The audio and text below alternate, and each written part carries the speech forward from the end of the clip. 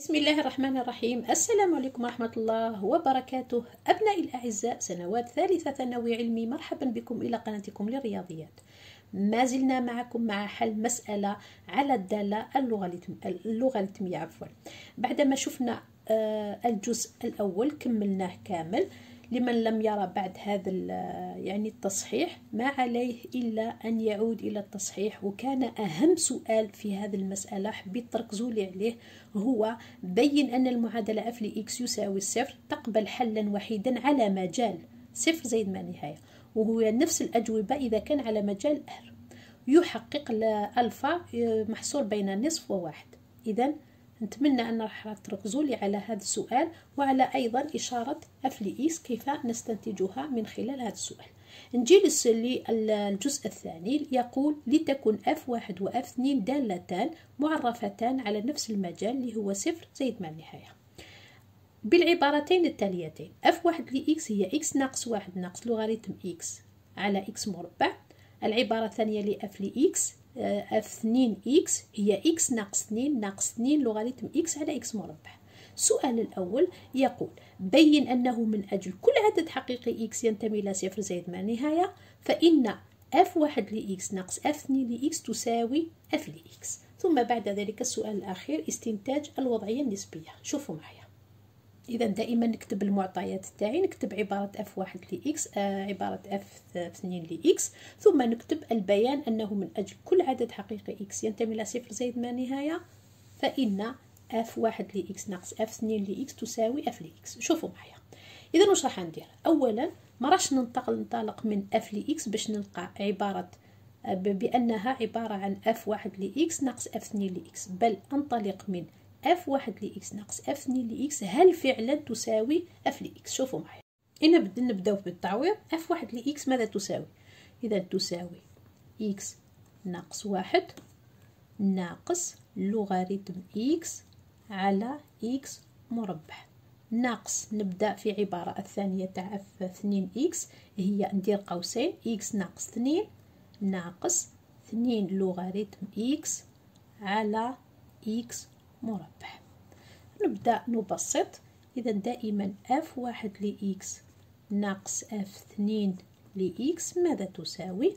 إذا هنا يخرج لي إكس ناقص إكس يروح أو نكتبها كما هي. وبس ندخل ناقص باش تتبعوا معايا. إذا هنا ننشر الناقص ناقص إكس زائد اثنان. زائد اثنان لوغاريتم إكس على إكس مربع اف تاع اف واحد لإكس ناقص اف اثنين لإكس ماذا تساوي؟ هنا إكس ناقص إكس يروح. ناقص واحد زائد اثنين يخرج لي واحد. ثم ناقص لوغاريتم إكس على إكس مربع زائد اثنين لوغاريتم إكس على إكس مربع. يخرج لي زائد لوغاريتم يعني واحد تاع لوغاريتم إكس على إكس مربع. إذا وهذه العبارة ما هي إلا عبارة اف لإكس إذا هنا فقط قبل ما نبداو في الحسابات فقط نكتب من أجل كل إكس ينتمي إلى صفر زائد ما نهاية.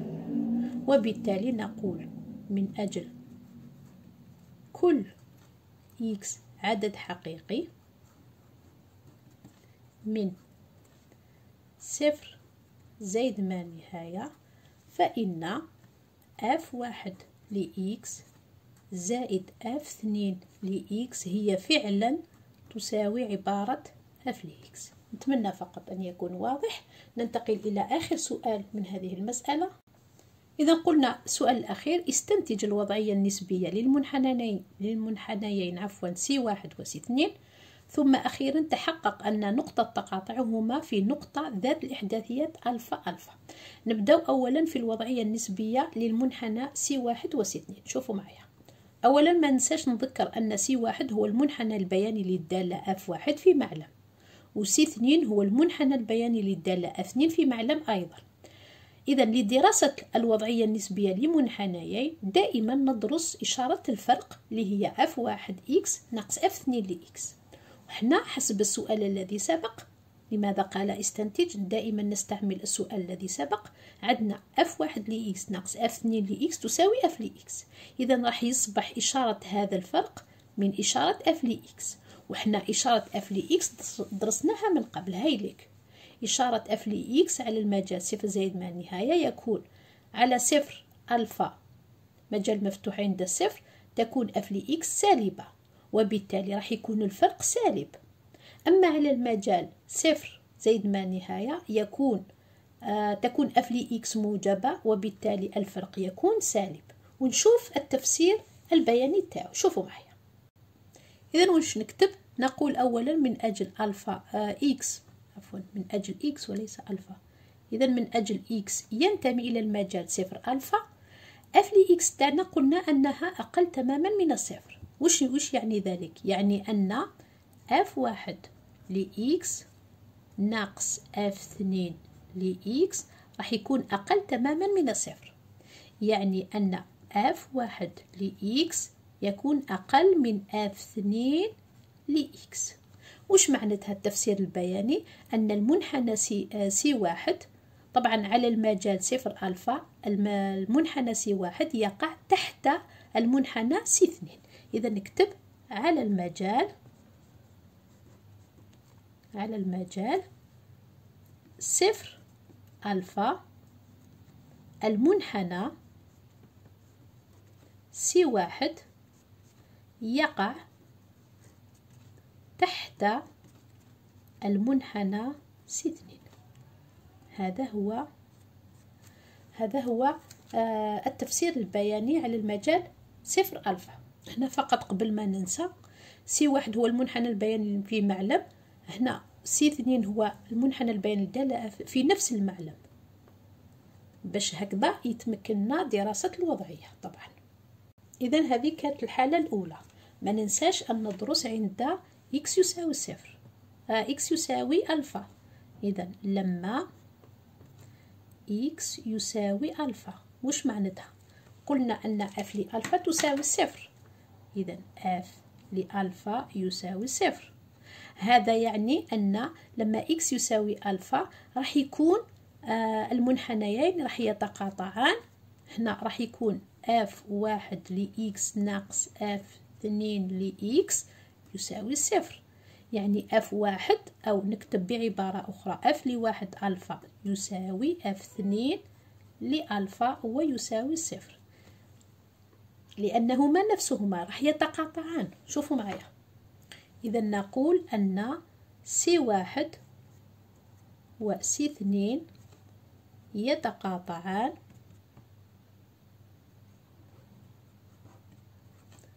عند النقطة راح نولي لها هذا السؤال لأنه طلب منا تعيين نقطة التقاطع. عند النقطة ذات الفاصلة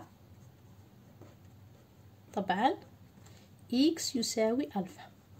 نجي للحالة الثالثة كي يكون x تاعي ينتمي إلى صفر زائد ما النهاية أو عفوا ألفا زائد ما النهاية إذا لما يكون x ينتمي إلى المجال صفر ألفا عفوا ألفا زائد ما النهاية وش يكون اف لإكس قلنا أن اف لإكس راح يكون موجب تماما وبالتالي الفرق اف واحد لإكس ناقص اف اثنين لإكس راح يكون أيضا موجب تماما.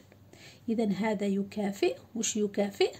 أن اف واحد لإكس راح يكون أكبر من اف اثنين لإكس التفسير البياني سي واحد المنحنى سي واحد يقع فوق المنحنى سي اثنين. إذا نكتب إذا طبعا المنحنى سي واحد يقع فوق المنحنى سي اثنين على المجال صفر ألفا الآن يقول أنه تحقق أن نقطة تقاطعهما يعني سي واحد وسي اثنين في نقطة ذات الإحداثية ألفا ألفا. إذا وش راح ندير راح أعين نقطة تقاطع. وش قلنا؟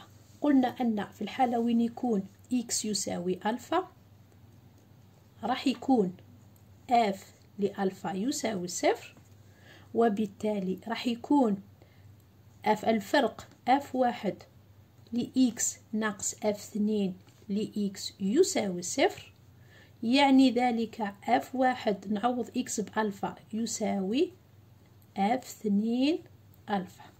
قلنا أنهما يتقاطعان في نقطة ذات الإحداثية ألفا.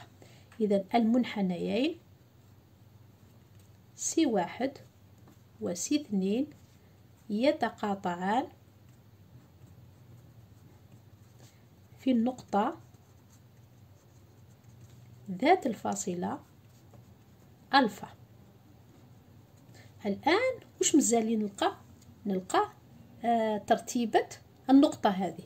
إذا حساب الترتيبة إذا حساب ترتيبة نقطة تقاطع المنحنيين. إذا كيف راح نلقاها؟ بما أنها نقطة تقاطع المنحنيين يكفي أن أعوض اف واحد لألفا أو اف اثنين ألفا. راح نلقاوها نفسها مثلا كون نحسب اف واحد لألفا وش نلقى؟ إذا عبارة اف اف لإكس هي إذا نعوض إكس. طبعا نكتب لكم هنا عبارة اف واحد لإكس. باش ما تقولش منين جات هي إكس ناقص واحد ناقص لوغاريتم إكس على إكس مربع إذا نعوض إكس بألفا. تولي لي ألفا ناقص واحد ناقص لوغاريتم ألفا على ألفا مربع. نتابع. لوغاريتم ألفا على ألفا مربع. إذا هنا نلاحظ أن ما لقيناش أف واحد لألفا هو نفسه ألفا. هنا واش راح ندير؟ إذا راح نحسب هذا الحد اللي هو لوغاريتم ألفا على ألفا مربع. كيف أجده؟ باستعمال أف لألفا يساوي صفر. إحنا عندنا اف لألفا يساوي صفر. هذا يكافئ اف لإكس حل يساوي. نعوض. واحد زائد لوغاريتم ألفا على ألفا مربع يساوي صفر. إذا كم يساوي لوغاريتم ألفا على ألفا مربع؟ شحال يساوي؟ راح يساوي لي نرجع واحد يساوي ناقص واحد. واش راح ندير؟ راح أعوض. إذا نعوض هذه القيمة هذه القيمة اللي هي هذه القيمة اللي هي لوغاريتم ألفا على ألفا مربع بما تساويه بنقص واحد في أف واحد لألفا. نجد وش راح نلقاو؟ وش لقينا أف لألفا؟ شوفوا معي نعاود. أف لألفا ماذا يساوي؟ قلنا أنه يساوي ألفا ناقص واحد. إذا ألفا ناقص واحد ناقص عوضا ما نكتب اف لوغاريتم ألفا على ألفا مربع. نكتبه لكم قبل بعد نعوض. لوغاريتم ألفا على ألفا مربع. نعوض هذه القيمة بنقص واحد. نعوضها بنقص واحد. وش نلقى؟ نلقى اف لألفا تساوي ألفا ناقص واحد ناقص ناقص واحد. وتساوي ألفا ناقص واحد ناقص واحد. كم تساوي؟ تساوي ألفا. إذا لاحظوا معايا ألفا ناقص واحد ناقص في ناقص واحد زايد واحد ناقص واحد يروح مع زايد واحد ويبقى لي آه ألفا. إذا واش لقيت؟ بعد ما هنا فقط ندير أف واحد أف واحد. إذا أف واحد لألفا يساوي ألفا. إذا نقطة التقاطع ما هي نقطة التقاطع؟ هي ألفا تحققنا أن نقطة التقاطع هي ألفا والترتيبة هي ألفا. إذا تحققنا أن ألفا ألفا هي نقطة تقاطع المنحنيين سي واحد وسي اثنين.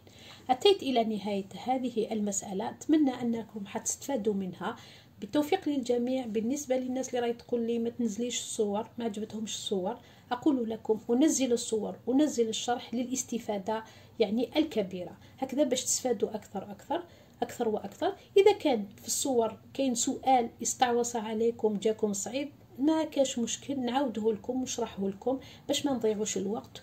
إن شاء الله كلكم تكونوا من آه، في قائمة الناجحين في شهادة البكالوريا. ونفرحوا بكم إن شاء الله. اللهم تقبل جميع أعمالنا. إن شاء الله يا ربي تقبل صيامنا وقيامنا. بالتوفيق للجميع ما تنسوناش في قراءة القرآن. جد جد مهم. آه، أيام رمضان أيام مباركة. استغلوا هذه الأيام. إن شاء الله تجيكم البركة في العمل تاعكم وفي الدراسة تاعكم. يسر الله لكم أمركم جميعا. سلام الله عليكم. إلى الملتقى إن شاء الله.